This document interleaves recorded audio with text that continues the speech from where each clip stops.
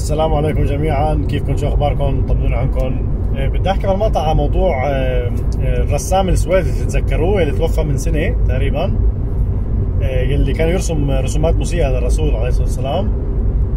بوقتها بتذكر تقريبا بال 2007 يمكن كانت الرسومات هاي. إذا بتتذكروا صار في ضجة كبيرة وصار في مشكلة بين السويد وكثير من الدول الإسلامية.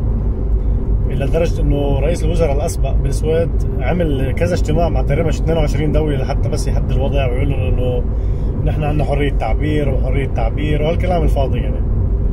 فبتذكر وقتها كان الموضوع مستفز جدا. آه، بعد هذا بعد هاي الرسومات تعرض هذا الرسام لكثير مضايقات وحاولت ناس كثير تلاحقه وكذا فهو كان دائما آه، كان هيك تحسوه من نوع العنيد وشايف حاله يعني. وكان تحسه كاره عن جد يعني بيكره المسلمين عن جد يعني. فكان دائما تلاقيه يستفز ويحكي بهي الطريقة وإنه هو محمي بالشرطة. كان دائما يشوف حاله إنه هو محمي بالشرطة وإنه ما حدا بيقدر يقرب له وهو حر و... وهاي الشغلات. سبحان الله آه، بس مات من سنة تقريبا بحادث سياره من من أسبوع تقريبا سكر التحقيق يعني كانوا عم بيحققوا الشرطة إنه هذا ممكن يكون عمل إنه في حدا استهدفه أو حدا قتله يعني. فسبحان الله مات هو والشرطه اللي معه اللي معه يعني. كان في معه اثنين من الشرطة بالسيارة.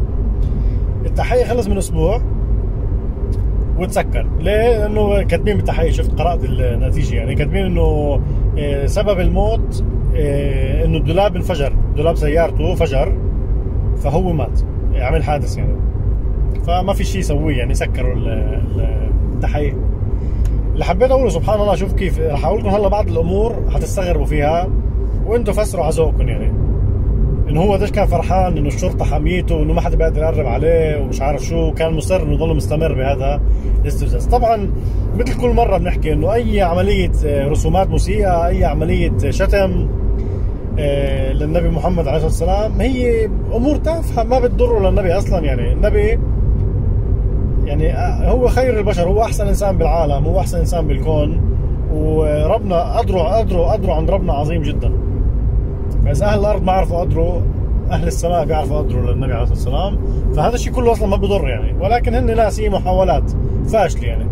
وكل الأنبياء تعرضوا لنفس المشاكل أو لنفس المضايقات حتى إنه ربنا سبحانه وتعالى ما سلم من أذية البشر وتطاولهم وقالوا يد الله مغلولة وهذا الكلام.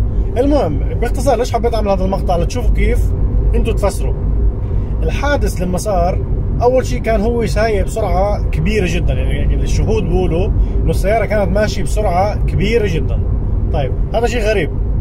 ليش يعني؟ أنت عم تسوق ليش بدك تسوق بسرعة؟ وفي معك شرطة وفي معك كذا. فهي أول شغلة غريبة. بتبين إنه السيارة كانت ماشية لحالها يمكن أو غصبا عنه مثلا. الشغلة الثانية سبحان الله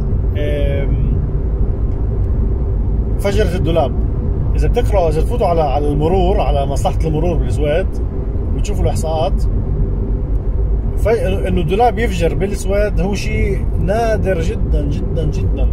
هو أصلا ما بصير غير بالدول اللي ممكن يكون فيها مثلا آه، الشمس عالي جدا مثل الخليج.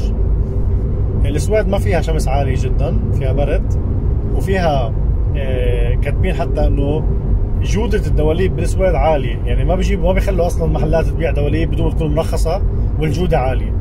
غير هيك آه، فحص الميكانيك بالسويد هو شيء إلزامي وشيء بشكل دوري. وعلى طول في تغيير الدواليب بين صيفي وشتوي. فما بيلحق الدولاب أصلا يخرب أو إنه يفجر. هاي كمان شغلات بتصير الشك. أكثر من هيك آه، لما فجر الدولاب السيارة مباشرة راحت على السايد الثاني.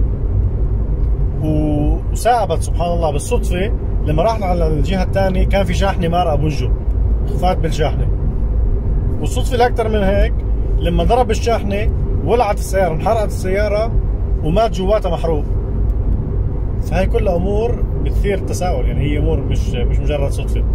كأنه بف... كأنه في شيء بيقول إنه السيارة لحالها كانت عم تمشي أو السيارة لحالها سوت هاي الأمور كلها لحتى هو يروح يلاقي قدره.